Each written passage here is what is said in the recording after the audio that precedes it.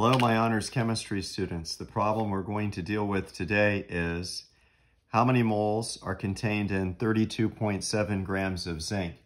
This is a time-honored classic honors chemistry problem in which you're given grams of substance and asked to convert grams of substance to moles of substance. And typically the pathway to do that is to use molar mass. And in this case, since zinc is an atom, you're going to use the gram atomic mass of zinc to convert from this amount of zinc to a given number of moles. Because in chemistry, the unit of comparison for the amount of matter of a substance is not grams, but in fact, it is the amount of moles. For the mole is the standard international system unit for quantity of substance. As always with this type of problem, and this is a fairly straightforward problem, I want you to write down what's known. What pieces of information do you need to know in the problem to solve the problem? You know that you're given a quantity of substance, which is the mass of zinc, which is 32.7 grams of zinc. That's straightforward. Every time you write down a measurement, every measurement should have a unit, and that unit should represent an appropriate quantity of matter. In this case, grams represents mass. You know that you're going to be asked to calculate the number of moles of zinc. You don't know how many moles of zinc 32.7 grams of zinc represents, but you do know that it's going to be expressed in MOL of zinc. That's a little bit funny that MOL is the unit for moles, but that is in fact the case. MOL is the unit of moles. So in essence, you're going to be asked to convert between grams of zinc to moles of zinc. And when you think about how you might approach doing that in your solution. I typically ask my honors chemistry students to diagram a solutions pathway. And what I mean by that is, how are you going to convert from grams of zinc to moles of zinc? So the solution pathway for me here, I want you to write down that you're going to start with grams of zinc and convert grams to moles of zinc. The question is, how can you do that? Well, you have three molar masses as we went through in the first problem in the last couple of days. One type of molar mass is gram molecular mass, the mass of one mole of molecules.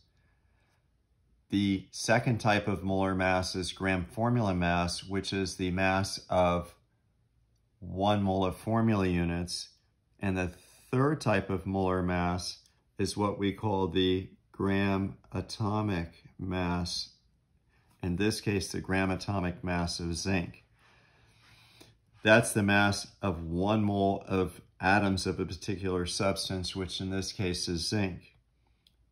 That value can easily be found on the periodic table by looking up zinc and looking for what is called the atomic weight or the atomic mass. In this case, the gram atomic mass of zinc is 65.37 grams of zinc per mole of zinc as recorded on the periodic table. Now keep in mind that this number represents two different the same thing in two different ways. In this case, we're looking for the number of moles of zinc in a given amount of grams. So in this case, this is referred to as the gram atomic mass because it's the mass of one mole of zinc atoms. On the other hand, this could be viewed as the mass of an individual zinc atom, but then the units would be different, which would be atomic mass units. So that nonetheless gives us a relationship between grams and moles. And in this known unknown solution style of problem solving, I always like you to make a statement which leads the grader to consider what you're actually trying to calculate. So first, you're going to calculate the moles of zinc because that is your ultimate objective. As always, I want you to restate the unknown statement in your solution by saying, I'm looking for the moles of zinc. I don't know how many moles that is, but I do know it will be expressed in MOL of zinc, the unit for mole. Always start with the quantity that you've been given. So you've been given the fact that the mass of zinc you've been given is 32.7 grams. So you record 32.7 grams of zinc, and you're going to convert that to moles of zinc. The question is, how do you go from grams to moles? This is the beauty of dimensional analysis because you're going to use units to be your guiding principle in the solution. In other words, you need a relationship between grams and moles. Keep in mind that whatever unit you want to achieve, you put in the numerator. And whatever unit you want to eliminate, you put in the denominator. So we're going to use gram atomic mass in that way because we're looking for moles and we want to eliminate grams grams cancels out, and that leaves you with moles. And when you actually do this calculation, and let's go ahead and do that now, I'm just going to kind of put this calculator right in there. Let me turn this on. We'll run through this calculation with you. We're going to take 32.7 and essentially divide that by 65.37 grams. Oh, I need another parentheses there. I probably didn't need a parentheses, but I'm going to put one in anyway. And when I press enter, I get a value of 0 0.500229 grams. Well, in thinking about that, more on that later, we need to make certain that we have the same number of significant figures in our answer as we do in the least precise measurement. If you think back to earlier in the year, you can determine the number of significant figures in a measurement by using a simple technique called the Atlantic Pacific Significant Figure Technique.